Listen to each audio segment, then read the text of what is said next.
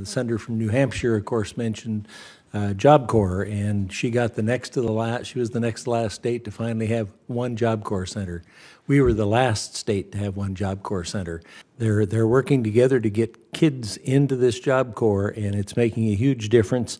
Uh, they're doing uh, energy industry training, and that's heavy equipment and mechanics and welding and other things that are that are tied to the economy of Wyoming. So their job placement is tremendous. So I, I'm hoping that you'll take a look at that.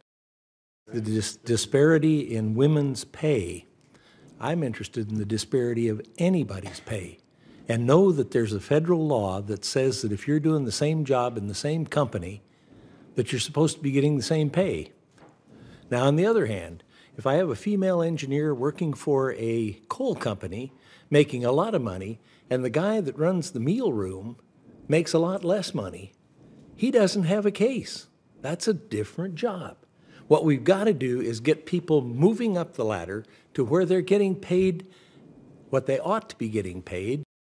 In Wyoming, we have something called Climb Wyoming, and it's for single moms who want to get into a non typical job. And uh, in, in Gillette, the two jobs that they're, my, my hometown, the jobs that they're trained for is um, a warehouse supervisor or a truck driver. And uh, they're, they're amazing people that, that pick up these skills and then make more money than some of the men in our community. But uh, I got to speak at one of their graduations, and it was, it was for the truck drivers. And uh, I, I was amazed at how much they can make, even if they can, because of their family, they can only work around town. I think they started at $18 an hour just around town. If they were able to make day trips out and back and still comply with the needs of their family, it went to 25.